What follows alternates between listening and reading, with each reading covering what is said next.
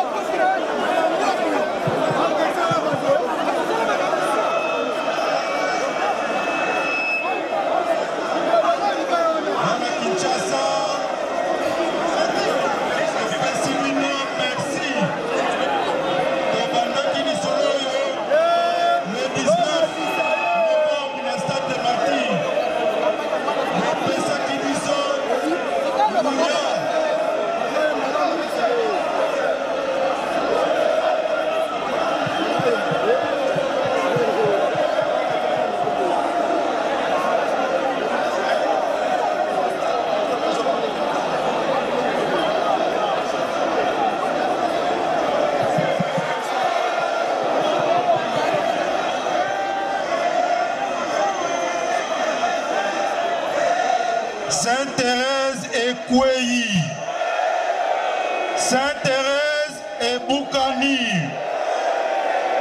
lelo eza mokolo ya esengo lisolo oyo tombandaki yango le 19 novembre na stade de martyr bana kin bopesaki biso nguya na makasi avec le candidat numéro 20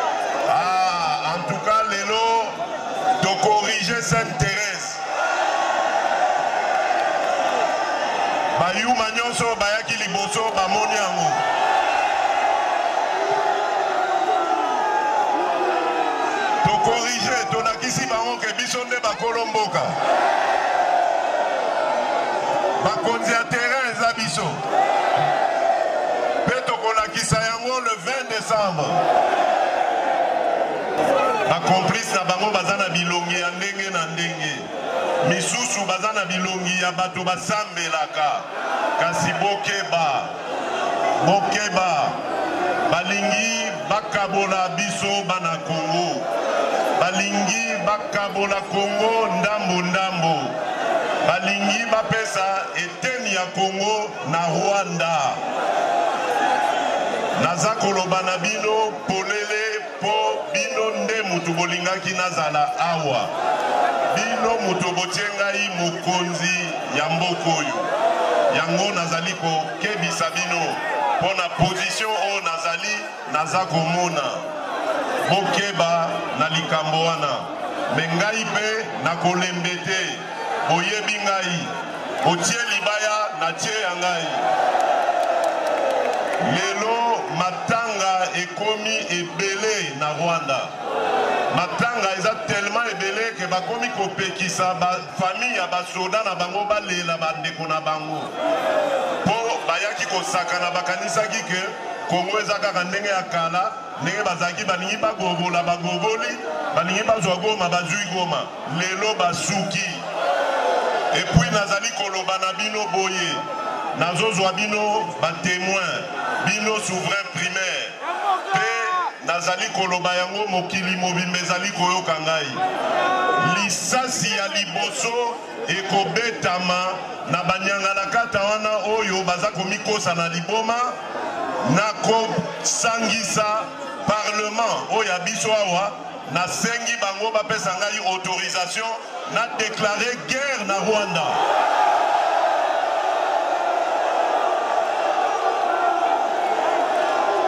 Boyoki yango? Boyoki yango? Nalobi boye mpo na oyo ayoki te. Lisasi ya liboso banyanganakata wana bakobeta na Congo. to mboka ya liboso bakokosa na liboma oyo bazwi yango na kosangisa parlement en congrès po loi constitution eza kopesa ngai droit wana nasangisi bango en congrès nasengi bango autorisation nabanda bitumba na rwanda epuis nazali koloba na bino Bobanga eloko moko te Congolais. Mapinga na biso lelo ezali na makoki nyonso. A partir ya Goma tokoki ko toucher Kigali wana. Akolala lisusu na ndako na ye te. Akokota zamba. mosusu me asakana na faci beton te mokengeli ya bakongole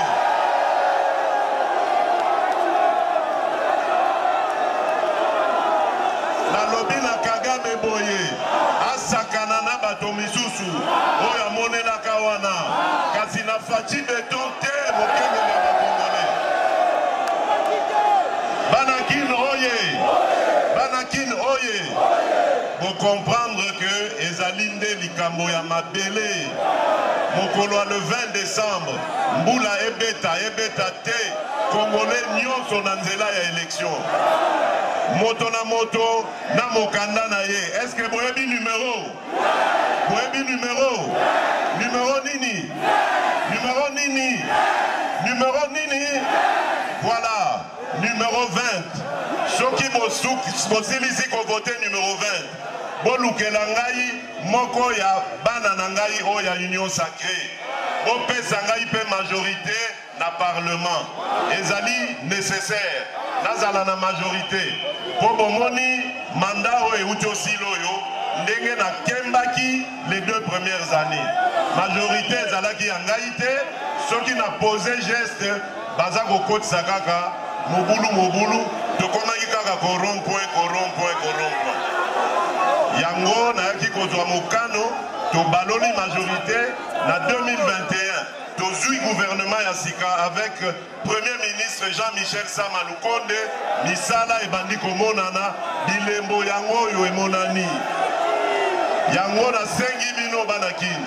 bopesa ngai makasi tokontinue mosala oyo tobandaki nalobi tokokoma tokokoma tokokoma nalobi nalobi na bino to bopesa ngai makasi tokontinue mosala oyo tobandaki tobandi nalobi likambo ya gratuité ya enseignement gratuité ya sante mpe ezali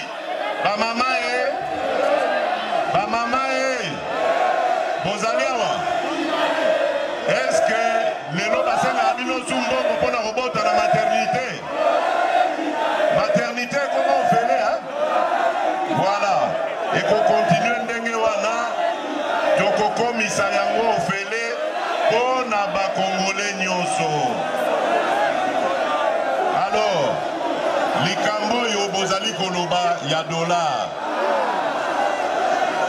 ya liboso boyeba boye dollar ezali mbongo ya Congo te biso mbongo na biso eyebani ezali nini voilà Eloko ezali ko affaiblir franc congolais ezali mpo biso moko bana ya mboka Congo, soki ozwi mwa franc congolais na maboko okimi mbango oke koluka dollar, ozopesa dollar makasi, ozolembisa franc congolais eloko moke ya kosomba.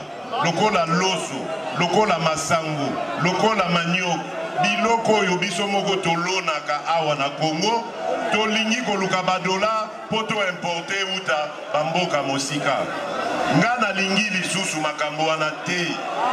Yango wana politique na biso ezali. ya kolona na kati ya Congo, kosunga ba agriculteurs oyo ya biso, kobakisa production na bango mpe kopesa misala na ba Congolais. Soki tosali bongo te, tokotikala kaka baumbu ya baekonomi ba misusu. Esengeli biso moko tolendisa ekonomi na biso na kati ya mboka. Likambo ya dolare eza ya mpasi te. Likambo ya dollar ezali kaka ya consideration, likambo ya confiance. Soki tolongoli confiance na dollar, totie yango na franc congolais, tobandi kosalela franc congolais, bokomona bino moko ndenge makambo ekobonga. Yango naza koloba na bino bozala na patience.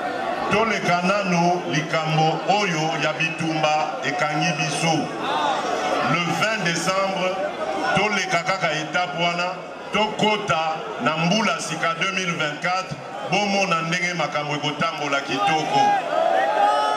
Tobandi programme na biso oyo ya 145 territoire ezali programme mpo na kotombola Congo mobimba. Tokotelemisa Congo yango nazoloba na bino bosala nga confiance bopesa ngai bavoi Tokende liboso.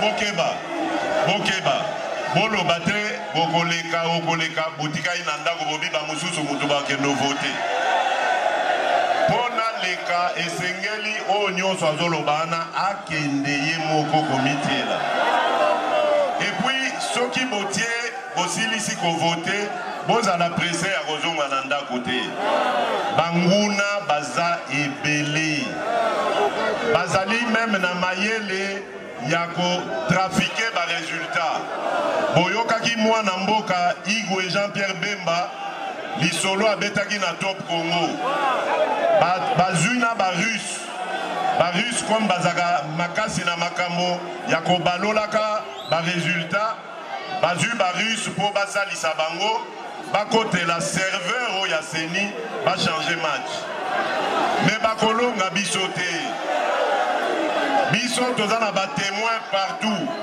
peuple congolais mpe temoin mpe ye wana donc bokende bowela mbangu kozonga bandako te Election ba bureau ya vote ekokanga na 17 heures. 17 heures eza butu makasi te.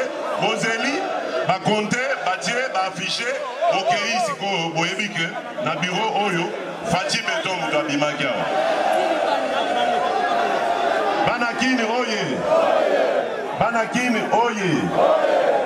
Nalobi na bino Bana mama nalobi na bino bopesa ngai ba voix le 20 décembre moto azala distrait te totelemela mboka mboka bakoko na biso batikela biso tobandi misala bana kin bomoni banzela oyo banda kobotama ezalaka te bana kin bomonaki likamwisi oyo tokamwisaki mokili mobimba na bajeu ya francophonie kasi ngai nalobi na bino francophonie wana obomonaki eza moke oyo toza na mayele ya kosala na mboka oyo eza nanu ebele toza nde na besoin ya mikolo toza nde na besoin ya confiance na bino mpo soki bino bopamboli te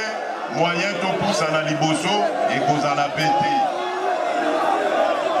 bana kin oye bana kin oye est ce que le 20 moto tout akotelema wa le 20 est ce que bino nyonso bokotelema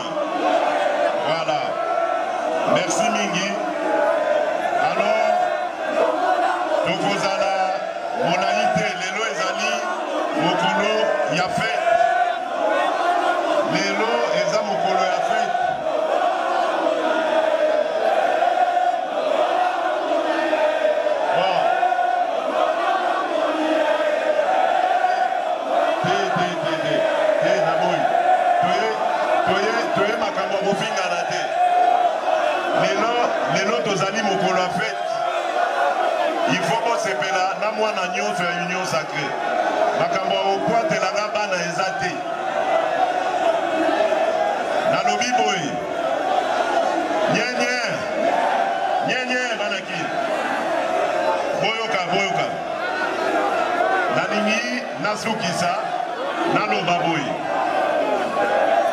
soki bopesi ngai bavoi toganye election, bien sur tokosepela na kotambola lisusu Congo mobimba, napesa peuple congolais merci, et puis natala ndenge nini tokoki kokontinue misala oyo tobandi.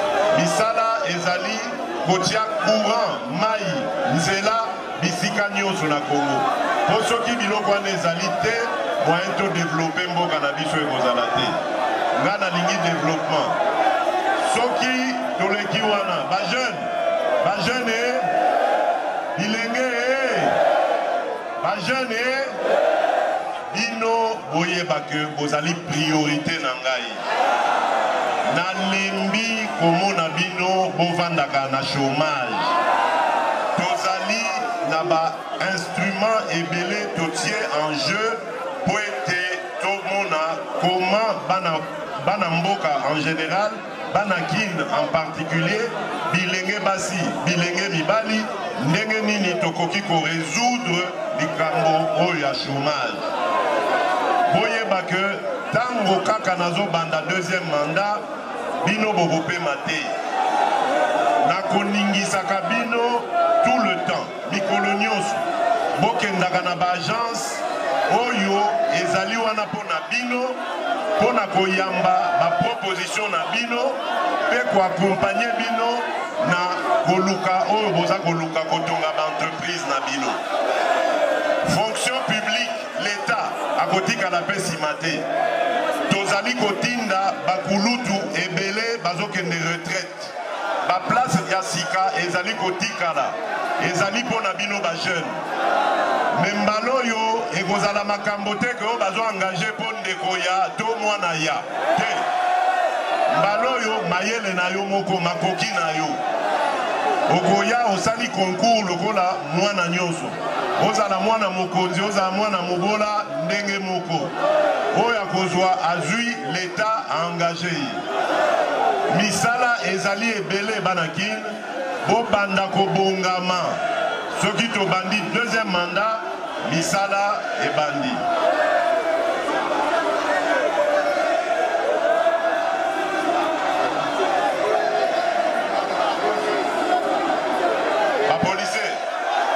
Ba policiers baokanga bino mikangaka.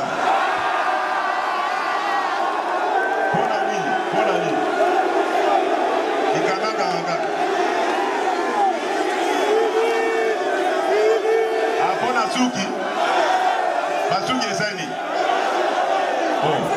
bongo polise mosala nde kotala suki ya moto policier mosala na ye kotya ordre na mboka kotala makambo wana bakotika yango bakozwa instruction batika biloko bon bana kin nde bino moko boyebi biloko elengi ewumelaka te esengeli natika bino bokende kopema tomonana me avant nakende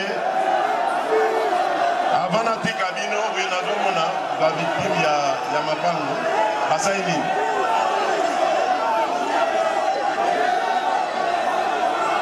saba totalaka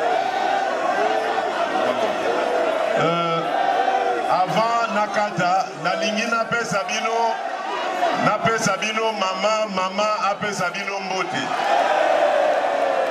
mpo bomoni biso tobombaka bamama te n'est-ce pas keba na moto oyo azobomba mama oyo azoloba na bino ke ono oh ye akozala na mabanje ya première dame te mais yo soki oza na première dame te sikoyo yo Sala makambo nyonso.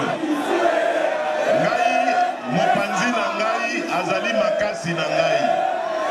Asalisi ngai mingi na makambo ebele. Donc soki bomoni moto azoluka bokonzi azoloba na bino abomi mama keba na ye.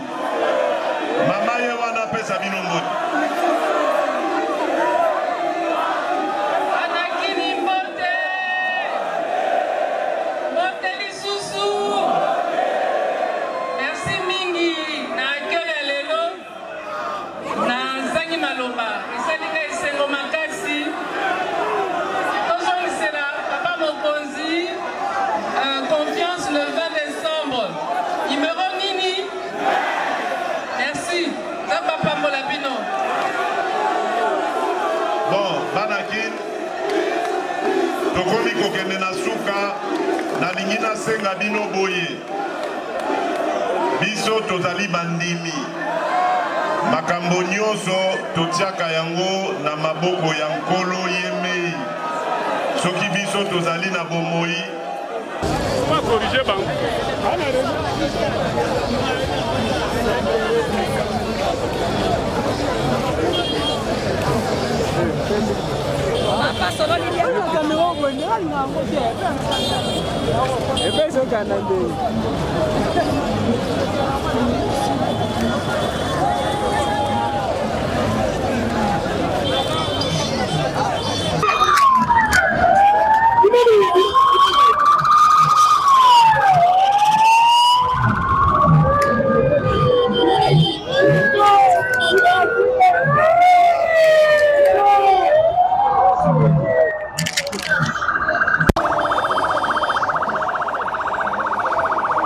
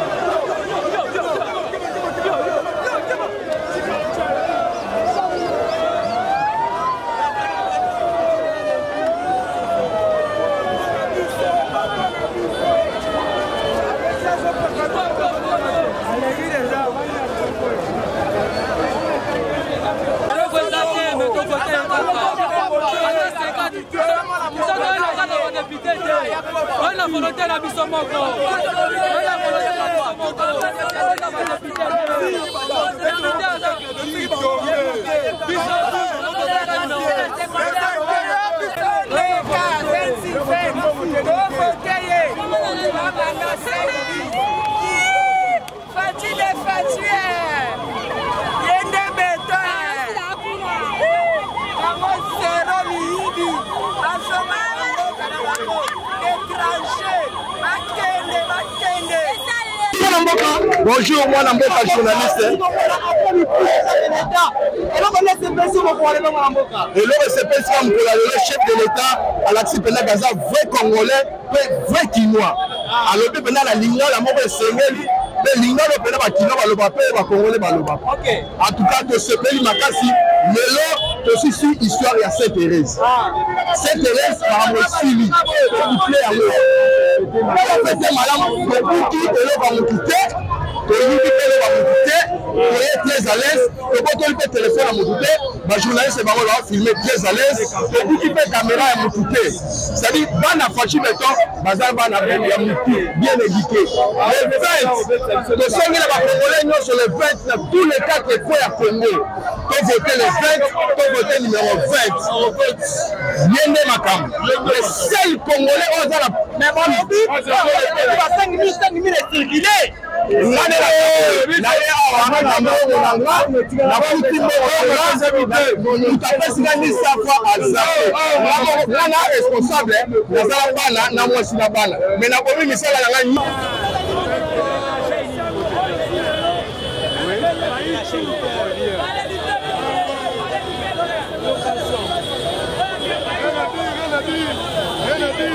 Comment ça a parti Qui n'y a pas de qui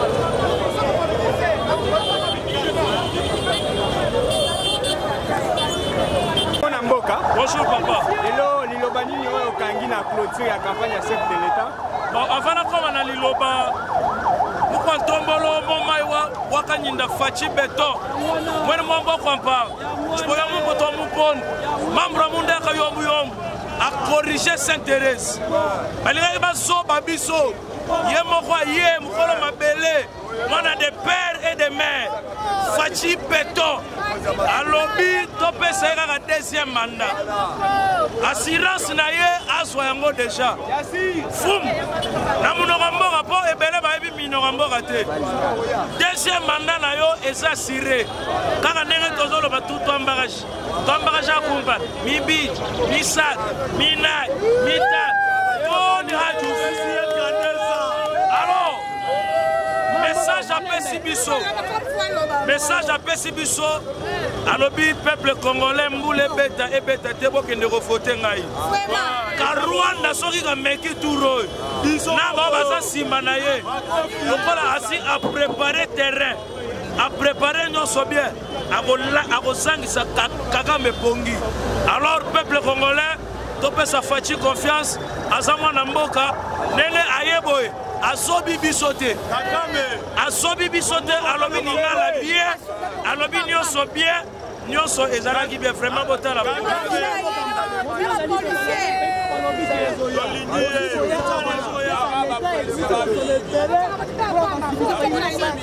mon frère yora ngai naye na mbongo na ngai ya transport naye na mbongo na ngai nazozonga na mbongo na ngai faci tolingi ye apesi moto ata sanfra te kolo ya ofele kolo nanga mosusu ya ofele to nyonso nazwi ya ofele nalobi boye tozwi ata un franc te tozwi un franc te toye na batransport na biso tozozonga epuis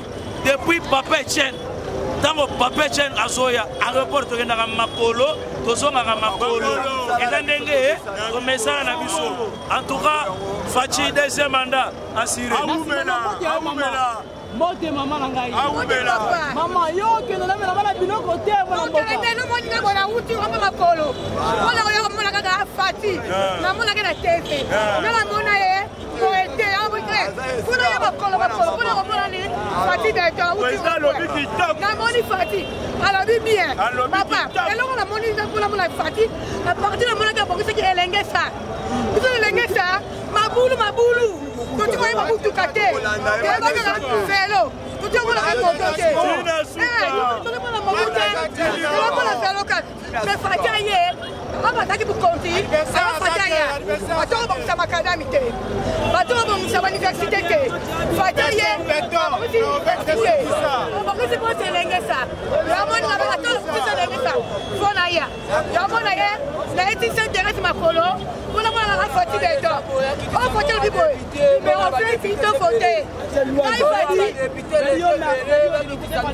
nakokende ata mbula nakokende ndenge naye nanga boye na transport nanga moko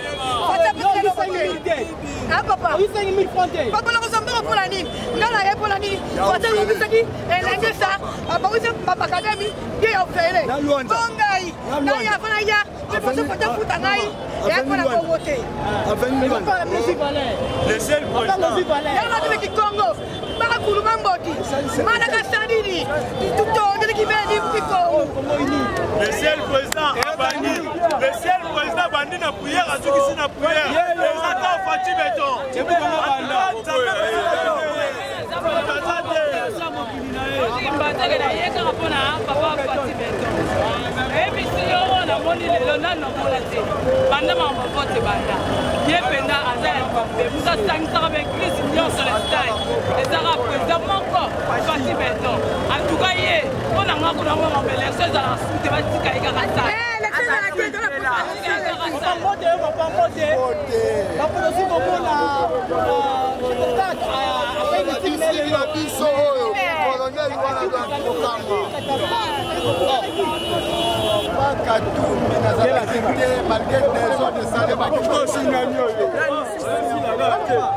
desordre esalemaki na rive ya katumbi desordre esalemi na rive ya fayulu me oyo ya lelo ya ye mei eloko moko esalemi ya mabe ye eza te yango tosepeli sekiamokonzi ya solo amokonzi ya solo akonfirme biso toza bana njini bevenema nyonso elekaka toyebaka mabe oyo eleki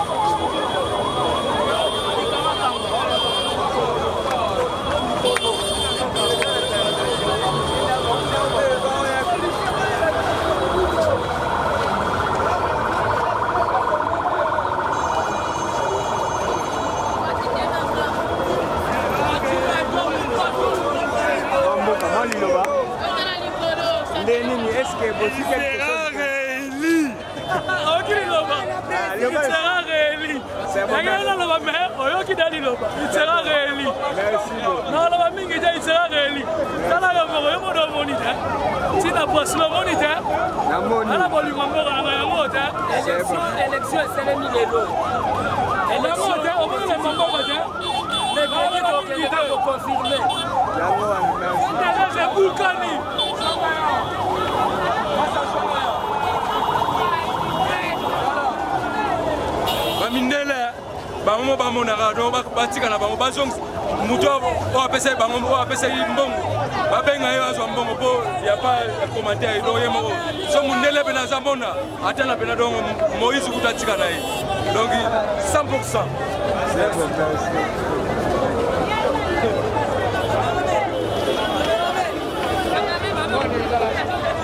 ezala wapi kala komi